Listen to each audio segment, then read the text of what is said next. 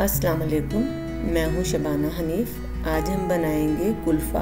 Homemade kulfa बनाएँगे। मैं आपको इसको सेव करने का तरीका ही बताऊँगी कि इसका मिक्सचर घर में कैसे तैयार कर सकते हैं इसका पाउडर और इसको कैसे सेव कर सकते हैं और इसके साथ किस तरह हम कुल्फ़ा बना सकते हैं। आए देखते हैं। यहाँ पर मैंने लिया है चार स्लाइस। मैंने ब्रेड के लिए थे, उसके मैंने किनारे नहीं उतारे और उसको मैंने ग्राइंड कर लिया था, बारीक पीस लिया था ब्रेड क्रम्स की तरह।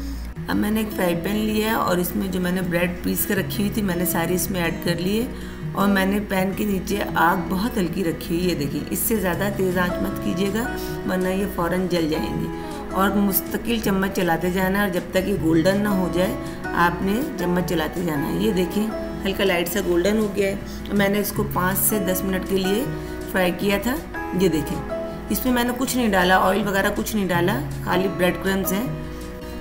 अब मैं इसे ठंडा होने के लिए रख दूँगी, ये अच्छे से गोल्डन हो गए यहाँ पर मैंने आधा कप पाउडर लिया है काजू का और आधा कप पाउडर मैंने लिया है बादाम का और आधा कप मैंने पिस्ते का पाउडर लिया इन सबको मैंने बारीक पीस लिया और यहाँ पर मैंने डेढ़ कप मैंने सूखा दूध लिया है और यहाँ पर डेढ़ कप मैंने घर में पिसी हुई चीनी ली है और यहाँ पर ढाई चम्मच खाने के मैंने इलायची पाउडर लिया है और यहाँ पर मोटा मोटा पिसा हुआ बादाम है, आधा कप और आधा कप पिस्ते हैं।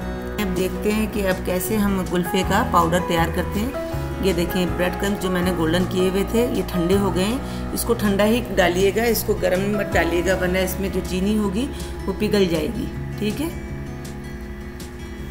अब मैं यहाँ पर डालूँगी पिसी हुई चीनी, और ये घर की पिसी हुई चीनी है, आपने इसमें आइसिंग शुगर बाज़ार वाली नहीं डालनी है। और ये मैंने दूध डाल दिया इसमें ड्राई मिल्क अब मैंने इसमें इलायची पाउडर भी ऐड कर दिया।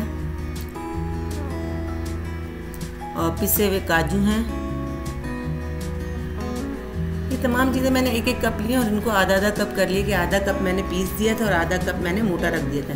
यहाँ पर देखें मैंने बादाम और पिस्ते भी डाल दिए हैं जो पिसे हुए हैं, जो बारीक पाउडर की तरह। अभी जो मोटे कुटे हुए हैं, जो पिस्ता है, ये भी मैंने डाल दिया इसमें और ये बादाम भी इसमें डाल दिया। अब इन तमाम चीज़ों को अच्छे से मिक्स कर लेंगे। हर चीज़ को आपस में मिल जाना चाहिए, आपस में मिक्स होना चाहिए। कहीं भी कोई गुटली ना रह जाए। ये देखिए कितने अच्छे से मिक्स हो गया। अभी आपका कुल्फ़ा पाउडर बिल्कुल तैयार है होममेड कुल्फ़ा पाउडर है। आप इसको जब मर्ज़ी, जैसे मर्ज़ी आप इसको कुल्फ़ा तैयार कर सकते हैं इससे अब मैंने यहाँ पर ए टाइट जार लिया है। आप इसमें सारे पाउडर को इसमें डाल सकते हैं, कुल्फ़ा पाउडर को, और डालकर इसको फ्रिज में रख देंगी। और जब दिल चाहे आप इसको यूज़ करें, और ये तकरीबन एक दो महीने तक आराम से रह जाता है। पर यही कोशिश कीजिएगा, इसमें गीला चम्मच या गीले हाथ नहीं लगने चाहिए, वरना ये ख़राब हो जाएगा। ये देखिए, मैंने तमाम पाउडर इसमें डाल दिया है। अब मैं आपको बताऊँगी कि इसके साथ कुल्फ़ा कैसे तैयार करते हैं। मैंने यहाँ पर अभी फ़िलहाल एक कप मैंने ना जो कुल्फ़ा मिक्सर बनाया है, मैंने वो लिया है और यहाँ पर एक लीटर मैंने दूध गर्म किया है। अगर मुझे मज़ीद इस पाउडर की ज़रूरत पड़ेगी तो मैं एक कप से ज़्यादा इसमें डाल दूँगी। यहाँ पर एक लीटर दूध है और इसको अच्छे से बॉयल कर लिया मैंने। ये देखें अब ये नहीं कि एक लीटर दूध है तो इसको आधा लीटर कर लें या इसको ना, इसका एक हिस्सा इसको ड्राई कर दें, ऐसा कुछ भी नहीं। बस जैसे ही बॉयल हो तो आप ये मिक्सर इसमें डाल दीजिएगा, कुल्फ़ा मिक्सचर ये देखिए, सारा पाउडर मैंने इसमें ऐड कर दिया है। यहाँ पर मुझे लगेगा कि अगर और पाउडर की ज़रूरत है तो मैं इसमें आधा कप और डालूँगी। और मुझे लग रहा है कि यहाँ पर अभी मज़ीद डलेगा। ये देखिए, इसकी थिकनेस अभी वैसी नहीं हुई जैसी मुझे चाहिए। मैंने यहाँ पर आधा कप और डाला है इसमें। इसको अच्छे से मिक्स करेंगे और इसको भी तकरीबन पाँच मिनट के लिए पकाएँगे। बहुत ज़्यादा नहीं पकाना घंटों घंटों नहीं इसको पकाना। एक दफ़ा इसमें उबाल आ जाए और हल्की आँच पे पाँच मिनट के लिए छोड़ दूँगी पकने के लिए। ये देखिए कितना अच्छा ये तैयार हो गया है और इसकी थिकनेस मुझे इतनी ही चाहिए, इससे ज़्यादा नहीं चाहिए।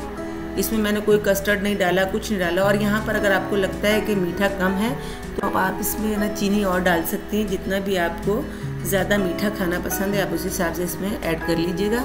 मुझे इतना ही पसंद था। ये देखें, ये अब पक के तैयार हो गया है। मैंने इसकी हल्की आँच पे इसको पकाया है पाँच मिनट। ये बिल्कुल तैयार है। अब मैं इसको ठंडा होने के लिए रख दूँगी। ये देखिए ये ठंडा हो गया। तो अब मेरे पास आइसक्रीम एसेंस पड़ा हुआ था, पिस्ता फ्लेवर का था। अगर आपके पास इसमें है तो आप डाल दीजिए ऑप्शनल है। अगर नहीं है तो कोई बात नहीं। ये इसका बघार भी बहुत मज़े की लगती है। ये देखिए, मैंने इसमें तकरीबन वन फोर टीस्पून मैंने इसमें ये डाला है।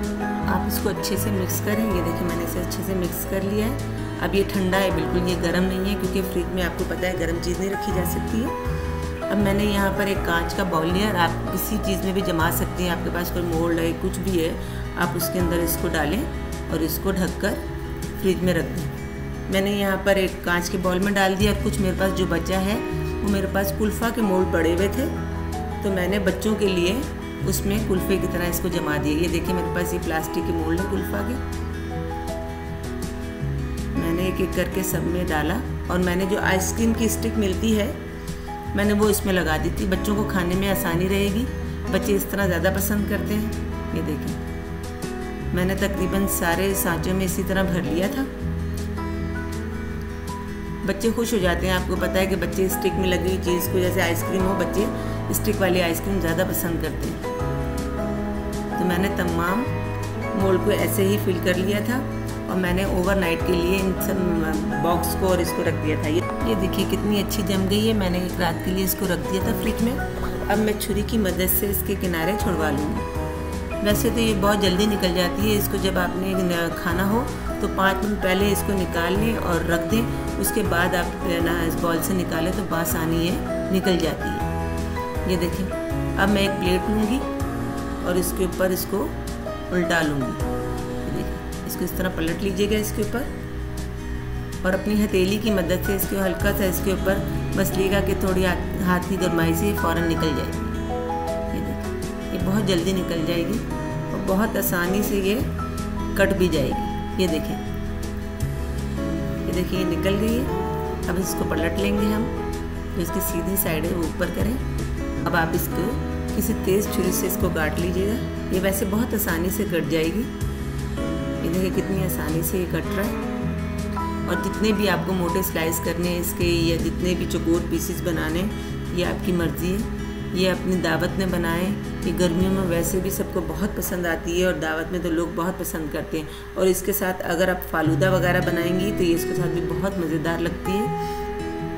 चलिए अब हम इसको एक ना, दूसरी प्लेट में निकालते हैं। ये देखिए, अंदर से भी बादाम पिस्ते कितने अच्छे नज़र आ रहे हैं। और सबसे बड़ी बात है कि इसमें कुछ नहीं डला हुआ, ना कस्टर्ड है, ना कॉर्नफ्लावर है, इस, ना क्रीम है कोई, ये सिर्फ़ फ्रेश मिल्क से बनी है। चलिए अब देखते हैं जो हमने मोल्ड में जमाया हुआ था, कुल्फ़ा मोल्ड में, कि वो कैसे निकल के नज़र आती है। ये देखिए, ये सारे कितने अच्छे जम गए बच्चों को तो ख़ास करके बहुत पसंद आती है। ये देखिए ये भी ना फ्रीज़र से दो मिनट के लिए निकाल के रखेंगे तो ये बासानी निकल जाएगी। देखिए कितनी आसानी से निकल रही है। मैंने इसको कोई पानी में डिप नहीं किया। अगर नहीं निकल रही तो आप एक गिलास पानी में इसको हल्का सा घुमाएँगे तो ये बहुत जल्दी निकल जाएगी। कुछ लोग इसको मटका कुल्फ़ी कहते हैं, कुछ पुशावरी कुल्फ़ा कहते हैं। आपको जो नाम अच्छा लगे आप वो दे सकती हैं। अगर आपको मेरी रेसिपी अच्छी लगी हो तो मेरे चैनल को लाइक कीजिएगा सब्सक्राइब कीजिएगा और अपनी फैमिली फ्रेंड से शेयर कीजिएगा। अपनी दो में याद रखिएगा। अल्लाह हाफिज़।